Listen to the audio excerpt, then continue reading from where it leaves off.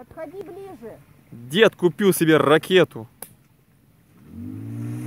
Че с веслом-то?